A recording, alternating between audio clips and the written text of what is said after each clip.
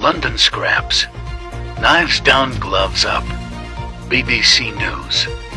Like, comment, favorite, and add to favorite.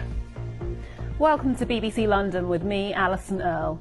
It's now nine months since Teon Campbell Pitter was stabbed and killed in southeast London. He was just 16 and was one of the capital's youngest victims of knife crime last year. Well, he was a fan of boxing and events have been taking place this weekend to remember him and help draw young people away from knives, as Guy Lynn explains. The message of today was don't get involved with knives, box.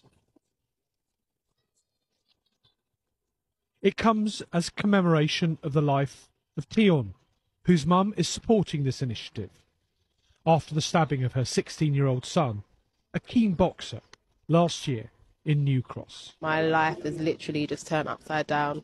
You know, Teon also has a younger brother whose life has been turned upside down. You know, I'll never see my son again. You know, never hear him say, Mum, I love you.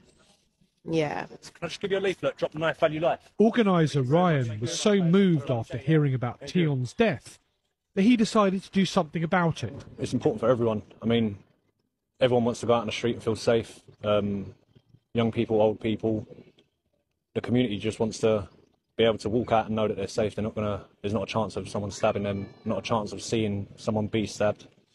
I think at the moment, with all the stabs that are going on, it's only getting worse. So we need to come together as a community to, to make a difference and be heard.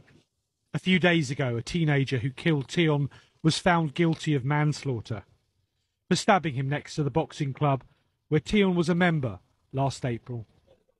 This weekend, those here are trying to send out a message to anyone who may see or walk by that constructive activities like boxing, which Teon loves so much at his club, are much better than knives. Guy Lynn, BBC London. The vicar of an historic church in northwest